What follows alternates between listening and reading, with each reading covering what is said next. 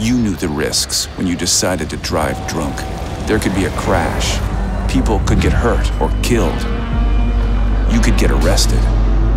But one thing's for sure you were wrong when you said it was no big deal.